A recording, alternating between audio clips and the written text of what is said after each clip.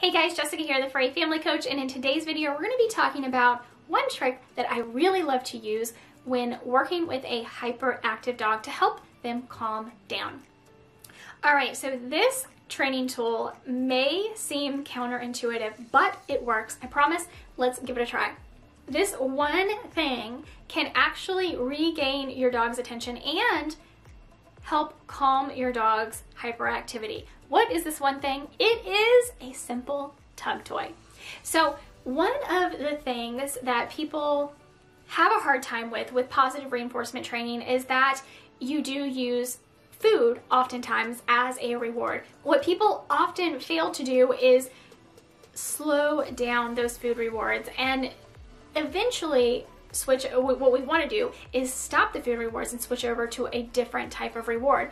A tug toy is a perfect way to switch from food rewards to another type of reward. One of the reasons that a tug toy works so well is that you can actually use it out in public and not gain other dogs' attention. But also it is very interactive. So your dog is getting to get their energy out and they're getting one-on-one play with you. They're getting your attention. Those are all positive reinforcers for your dog. Those are all rewards for your dog. Also, I find, and really many other people find as well, when your dog is up here, when they are super hyper or they are super stressed out or um, agitated, maybe you are working with a reactive dog, right? Food is the last thing on your dog's mind. And you'll notice this because when we are training our dog, and if you've gone through the beginner dog training series, if you haven't, the link is in my Linktree. Definitely go check it out. It is absolutely free to you. One of the things we work on in the beginner dog training series is moving outside. This can be very difficult. And it's something that we do with all of the cues we train, whether it's a sit or a stay or a come or, you know, just even when we train walking, we actually train walking inside before we go outside. And moving outside, there are so many distractions. And when you move outside, you're, you're gonna find your dog may not pay any attention to that food reward. It's very, very possible your dog is not going to pay any. There's just too much going on, too many distractions. Their energy level is too high. Maybe they're too anxious. They're just trying to take too much in.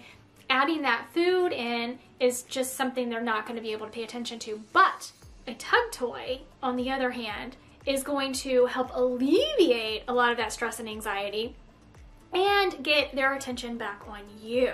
So a tug toy is actually a perfect replacement for food as a reward. Like I said, a tug toy keeps your dog close in close proximity to you and completely focused on you. So if there are other dogs around, like I was saying before, you're not going to attract other dogs. If you're using food, you may attract other dogs to you. And if you have a reactive dog, that is a big no-no, right? Also, even if you don't have a reactive dog, you could, especially if some strange dog starts coming up, you could trigger some resource guarding in your dog and possibly even the other dog. So we definitely don't want to, if we can avoid using food outside at all, that's great. But especially when we have a hyperactive dog or especially if we have a reactive dog, a tug toy is going to be the perfect replacement.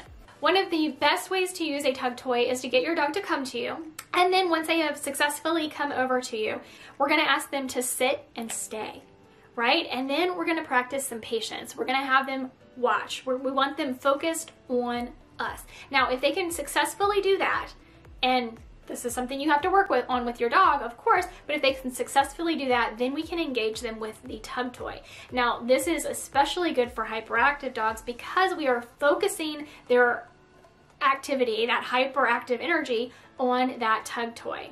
A great way to use a tug toy in a real life scenario is this. If you're out walking and say you have a reactive dog or just that your dog wants to, you know, get at and play with another dog, right? Instead of letting your dog lunge and jump and bark, when you notice the other dog, you take two steps back in the other direction. Ask your dog to sit and stay and focus on you.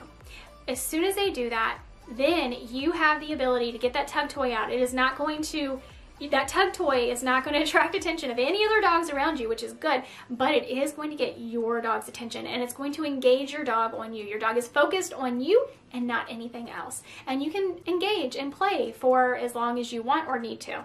Practice this as often as necessary, especially if you have a hyperactive dog, because the, the key here is that when you are playing tug with your dog, you are in control of their energy and you are in control of how they express that energy.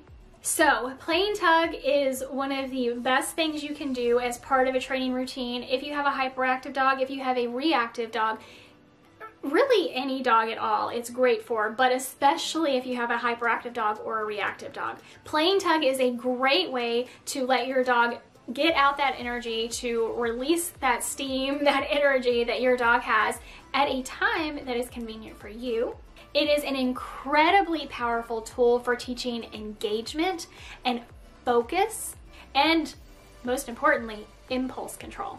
And as I said before, it is incredibly powerful if you have a hyperactive dog or if you have a reactive dog. It is inc an incredibly powerful tool to get your dog to focus on you and not what's going on around them. Now, as with anything else, again, like I said, if you haven't gone through the beginner dog training series, definitely check that out. The link is in my Linktree, which you can find in the description below.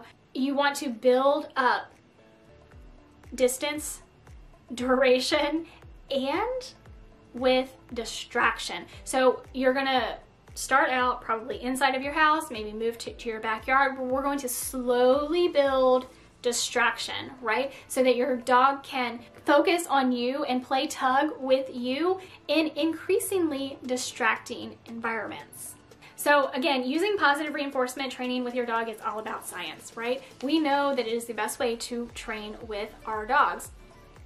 Um, I do want to quickly remind you, if you are not already a patron, if you are not following me on Patreon, the link is in the description. I highly recommend you check it out. If you are a pet parent, I post all new and exclusive pet parent content over there. You get a lot of behind the scenes stuff and more like into my life as a dog mom, as a cat mom, as a pet parent, as a dog trainer. You get a lot more like about me. You also get access to Discord so we can actually talk and communicate back and forth as well as with other pet parents just like you. So I do hope you check me out there. Also, I hope you give this video a thumbs up and look down there at the subscribe button. I hope you are subscribed. If you are, it'll be gray. If you're not, it'll be red. If it's red, you need to click it. I hope you share my channel with others as well because my goal for 2021 is to get this channel to 25,000 subscribers and I cannot do it without your help. Guys, thank you so much for being here. If you have any comments, any questions, please leave them in the comments below. I do hope to see you over on Patreon as well. And try this out with your hyperactive dog or your reactive dog. You're gonna see a huge difference in them. If you need help with it, let me know. I'm here. Oh, I'm on Patreon. You can definitely reach out to me there. I hope this helps you out, guys. I can't wait to see you in our next video. Until then, thanks for watching. Make sure to give this video a thumbs up and subscribe to my channel so you never miss another video.